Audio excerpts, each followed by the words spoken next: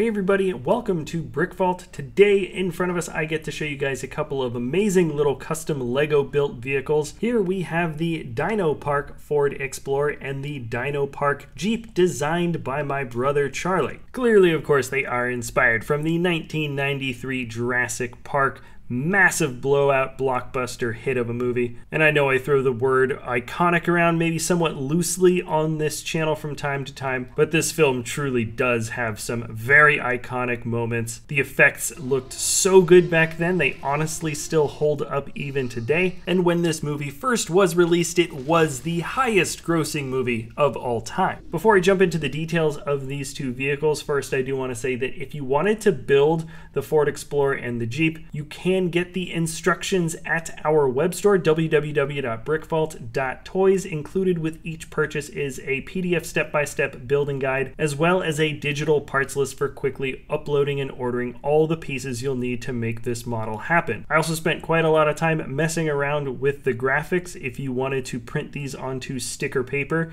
a PDF is also included for that as well. And if you look closely there, you can also see Mesozoic Park is included as an alternative. That was Ramon's request. He says it's more technically accurate, but I don't think I know nearly as much about dinosaurs as he does. Let's get into the details of these fun little models. There's something so incredibly fun and recognizable about both the Jeep and the Ford Explorer. Originally, this is the 92 Jeep Wrangler and the 93, 1993 Ford Explorer, and after this movie came out, people from all over the world started decorating their cars to look like the ones from the movie. Now, of the two, I couldn't possibly tell you which one of them is more popular, but the Ford Explorer by far has the much more striking and vibrant color combination, so I think we're gonna start with this one. Knocking out some logistics, it is six and a quarter inches long or 16 centimeters, three inches high, eight centimeters, and two and a half inches wide, roughly six centimeters. But in Lego terms, the scale for this model is, I would say, seven stud wide when you actually look at the bulk of the body, and it's just got a little bit of extra width there with the wheel wells and the uh, side mirrors. Ultimately, this odd number of studs works very well left to right. You'll notice from the doors to the roof, they are just offset by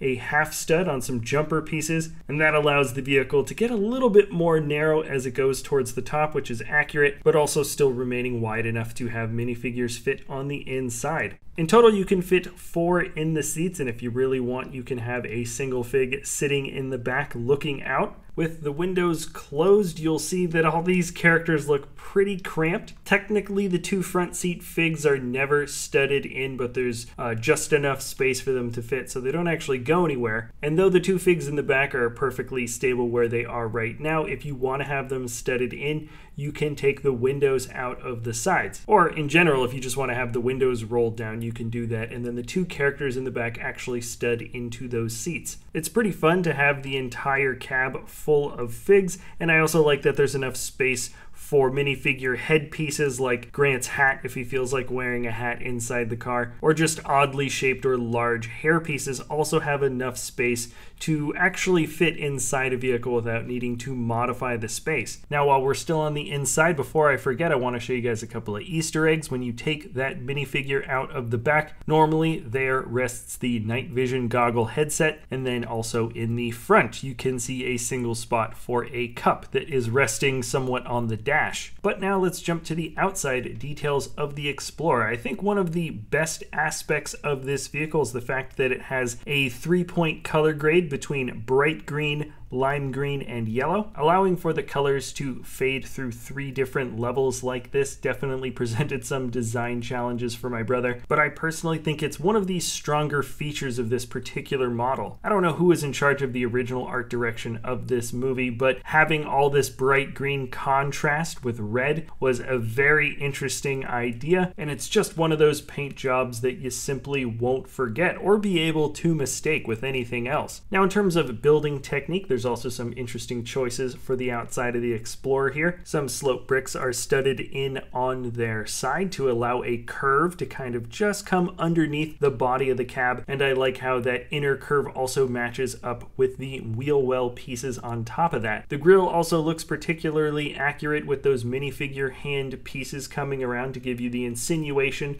of that looped bar. And the build for the rounded yellow bumper in the back is very subtle, but works to round out that shape of the Explorer just a little bit more. There's maybe one or two other aspects of this vehicle that I want to talk about later when I get into the handling section of the video, but let's jump onto the Jeep it looks surprisingly like a Jeep from the front, in fact. The vertical grille and square headlights mounted in line with those wheel well pieces definitely work, and my brother and I both agree, but LEGO's best new piece that they made in the last year or two is that 1x2 rounded plate with the open stud holes. That's what's used to attach both the front bumper and create the indication of those smaller orange lights that you actually have right underneath the square ones, and that color there comes from a couple of orange tooth tooth pieces that are studded in on the other side. Functionally, the doors can open and close for this model, which is fun, and normally this model can seat two minifigures in the front, with a third one loosely sitting in the back or standing in the back if you really wanted. Just like the Explorer, it's pretty fun to have figs posed in the vehicle, but when you take them out, you can more clearly see the uh, shifter that's in the front. There is that scene when Malcolm kicks the shifter, and so it's just kind of a specific moment where your eye is drawn to that part of the vehicle, and of course it sticks up like a sore thumb here. So at this much, much smaller scale, you can still see something that was from the movie on the inside. On the back, we have a spare tire, and there's also these interesting looped pieces that stick from the uh, back of the bumper. That was an interesting piece to use there. I hadn't noticed that on the Jeep until now that I'm looking at it, and it is simply just an oddly accurate detail to include. The top canopy is built from a variety of interesting connections, including flexi tubes in the back, more of those rounded 1x2 open plate studs, as well as the ever fun crowbar technique for the bars in the front by the windscreen. This is also a technique I haven't seen before where you take two of those window panels and when you mash them together they fit perfectly into clips and that's what makes up the actual windshield itself. And outside of that there is also some other fun techniques but I can't possibly talk about every single little thing for either of these models. It is now time to get into the handling section of this video. As a general rule I always like to say that these models are primarily meant for display. We don't follow the same structural integrity guidelines of LEGO because uh, we are more focused on getting cool and intricate, accurate, proportional details on smaller models like this. But you can see that they are easy to handle, they roll around. There is a little bit of functionality with the doors opening, for example, on the Jeep, but you can pick it up from just about every little extremity on this smaller model. Even the smaller bits by the roof can be picked up, and I say the only thing that you don't really want to pull on are maybe those crowbar pieces on the outside of the windscreen. You can turn this thing upside down. It looks pretty simple from the bottom, at least for the Jeep. It's actually very intricate when it comes to the Explorer. And with that, let's jump on over to this green, yellow, and red monstrosity. It is extremely strong to handle when moving it around. You can even hold it by the roof. And then, of course, I attempt to try to hold it by its weakest point to see if it'll work, and it does not. That grill piece cannot support the entire weight of the model Big Surprise. I try to put it back together one-handed for a second and then I realize that's not possible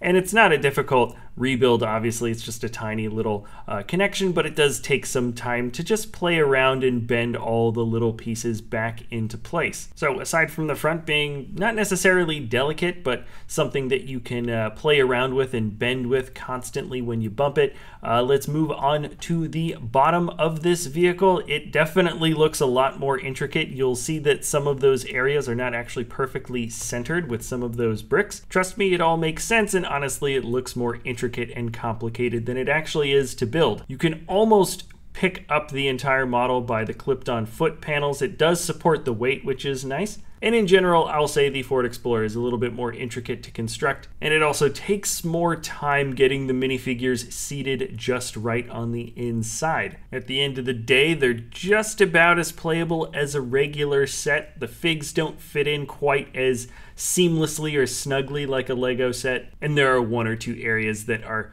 a little bit delicate, but nothing that is annoying to rebuild. So there you have it. That is the deep dive on the Jurassic Park inspired Ford Explorer and Jeep. For now, these are probably going to end up in our Jurassic Park collection area in the display case. That's probably a pretty good resting place for them right now. And remember, if you wanted to build these models for yourself, the instructions are at our web store, www.brickvault.toys. Thanks so much for watching, everybody. If you have any ideas on another LEGO custom creation you'd like to see as a video or up in the web store, please let us know in the comments below. As always, thank you, thank you, thank you so much for watching, and we will see you next time at Brick Vault.